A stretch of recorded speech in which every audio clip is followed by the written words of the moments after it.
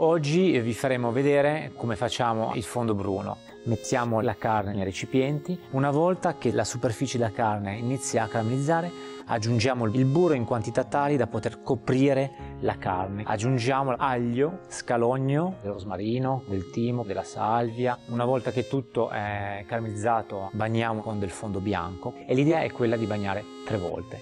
Così facendo eh, concentriamo il gusto, eh, bagniamo e finiamo con una remuglia. Copriamo ancora con del brodo se necessario fino ad altezza, deve rimanere in sobolizione per 2-3 ore, tiriamo fuori dal fuoco, lo passiamo al chinois, il liquido scende, il grasso restante smonterà in superficie, lo leviamo, facciamo ridurre la salsa a consistenza desiderata come addensante. Il kusu ci permette di avere una salsa limpida ma allo stesso tempo legata.